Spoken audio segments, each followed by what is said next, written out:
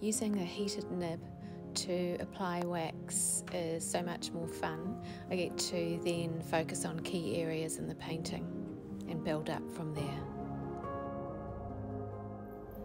Here you can see the texture and variations in the wax and the sheen that when you look at it from different angles changes.